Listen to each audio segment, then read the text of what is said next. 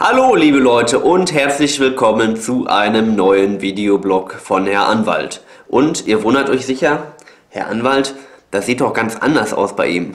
Hat er vielleicht seinen Job verloren? Nein, es hat andere Gründe. Und ihr seht es schon, ja, es hat mich erwischt gestern. Ich bin nicht etwa ausgerutscht, nein, es ist bei einem Fußballturnier passiert. Ich war Torwart und ich habe eine grandiose Tat vollbracht. Ich habe nämlich einen 9 Meter gehalten.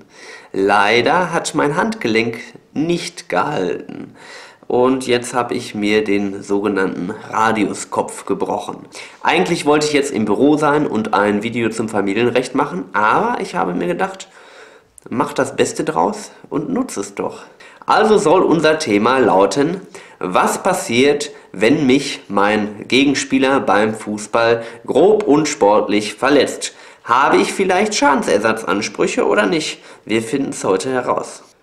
Dafür gilt es zunächst einmal die Rechtsgrundlage zu finden, nach welcher ich Schadensersatz bzw. Schmerzensgeld bekommen könnte. Und die Rechtsgrundlage findet sich im bürgerlichen Gesetzbuch unter dem Paragraphen 823 BGB. In Paragraph 823 heißt es, wer vorsätzlich oder fahrlässig den Körper oder die Gesundheit eines anderen Menschen verletzt, ist diesem anderen Menschen zum Ersatz des daraus resultierenden Schadens verantwortlich.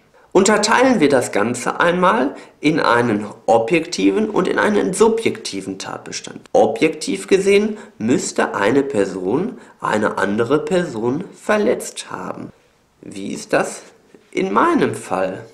Ich bin Torwart und möchte einen 9 Meter halten. Der junge Mann auf der anderen Seite möchte natürlich unbedingt ein Tor schießen, wo ich dann meinen Arm hinhalte.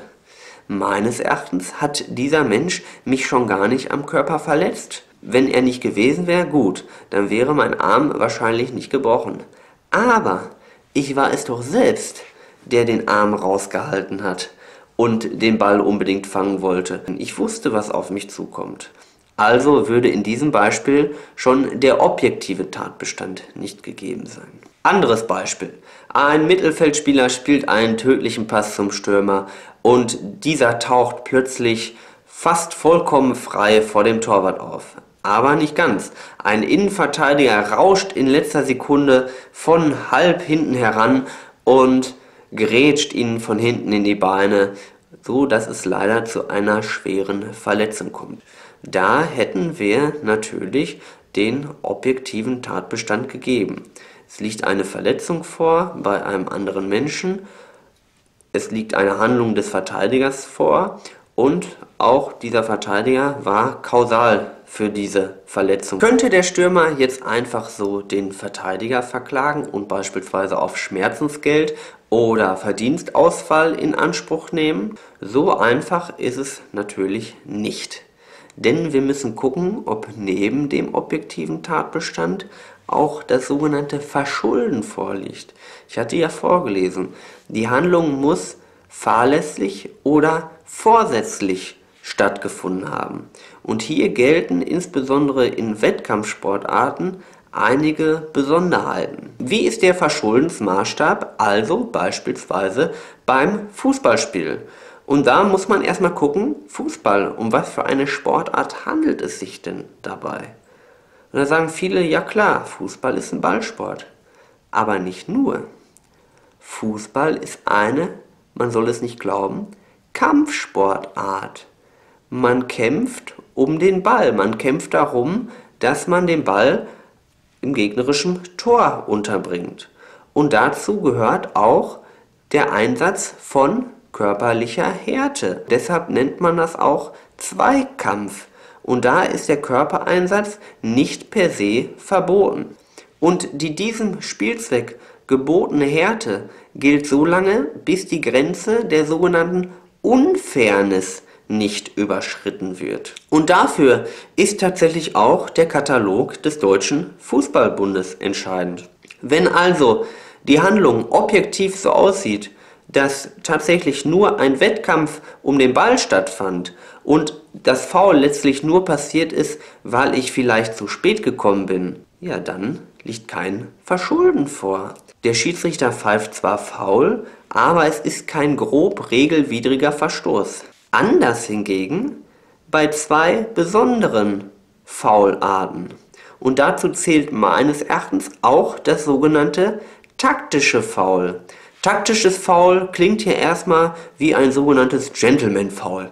Ich hab's ja nur gemacht, um den Gegner an einer Torschance zu verhindern. Ja, aber Vorsicht, wer das hinterher sogar zugibt, der gibt ja gerade zu erkennen, dass es ihm nicht daran gelegen war, um den Ball zu kämpfen, sondern nur darum, dass der Stürmer mir eben nicht wegläuft. Und mein Angriff war tatsächlich dann nur auf den Körper gerichtet. Die zweite brisante Foulart ist natürlich das sogenannte Revanche-Foul oder auch die Tätlichkeit. Da ist der Ball überhaupt nicht im Spiel, sondern ich wurde gefoult und denke mir, so, ich räche mich jetzt. Und wenn ich dann aushole und meinen Gegenspieler umtrete, dann muss ich mich nicht wundern, wenn ich hinterher so eine Klage bekomme. Und die dürfte in aller Regel, auch wenn es dann zu einem Schaden gekommen ist, begründet sein. Also kann ich euch nur raten, taktische Fouls, Revanche-Fouls, lasst es. Und liebe Leute, am Fußballplatz stehen jede Menge Zeugen. Wir haben einen Schiedsrichter, wir haben Leute mit einem Smartphone, die das ganze Spiel filmen. Unterschätzt das nicht. Heute wird es immer einfacher, diese Dinge dann auch zu beweisen. Liebe Leute, das war es für heute. Ich hoffe, ihr wisst nun, wie ihr euch auf dem Fußballplatz zu verhalten habt, damit ihr keine rechtlichen Probleme bekommt. Nächste Woche geht es weiter, dann in meinem Büro und ich kann euch versprechen, es wird auch wieder ein besonderer Videoblog, denn ich mache ihn dieses Mal nicht alleine. Ich werde einen kleinen Gast dabei haben. Ihr dürft gespannt sein. Er ist ein großer Star. Ich habe ihn in meine Sendung bekommen. Wenn euch dieses Video gefallen hat, gebt mir einen Daumen nach oben, abonniert mich. Das würde mir eine große Freude bereiten. Und normalerweise sage ich an dieser Stelle, brecht die Regeln, aber nicht das Gesetz. Nur nach diesem Blog bin ich da selber gar nicht mehr so sicher. Ihr solltet vielleicht die Regeln insoweit brechen, dass ihr um den Ball kämpft und die Regeln nicht so weit ausreizen, dass es zu einer roten Karte kommt. Denn dann liegt vielleicht auch schon eine Gesetzesüberschreitung vor. Also denkt dran, brecht die Regeln ein bisschen, aber nicht das Gesetz. Bis dann. Ciao.